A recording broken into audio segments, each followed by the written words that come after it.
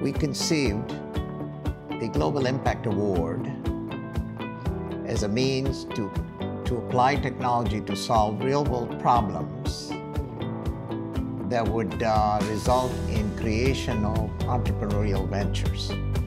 Washington University is my alma mater. I've spent many years of my life here and I'm deeply grateful for all my experiences and the support that I've had throughout my journey. We thought the focus should be that the teams should solve a real world problem. We wanted them to use technology and we wanted to make sure that they could impact the lives of many people. It could be anywhere. It could be right here in St. Louis. It could be on the other side of the world. But we also want these ventures to be scalable and profitable. And that, that's an important component. So the award is not really just a award to fund a company or a business plan competition. It's really to assist the companies to grow and to, to scale and, and then to become profitable. Now, we realize, you know, to get from point A to point B is going to be a journey. And we want to provide the support in the early part of that journey, not just financially, but through mentoring. And in order to do that, the selection committee, as well as the judges, will need to make those assessments.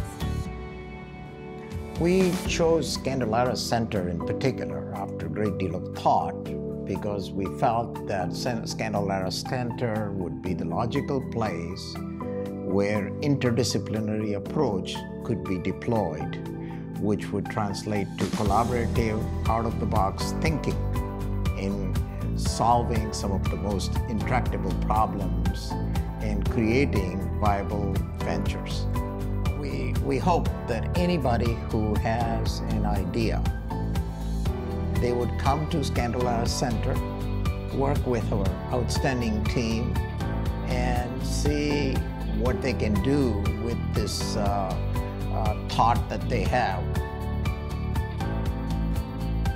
Identify and mentor entrepreneurs, adopt an interdisciplinary approach so that they could uh, use out-of-the-box collaborative effort in their entrepreneurial journey to encourage successful entrepreneurs, the idea of giving back.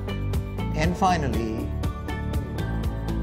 a very important goal here is that let us celebrate entrepreneurship on Washington University campus and develop a community and pool of knowledge that helps future awardees and others engage in high-impact entrepreneurial activity.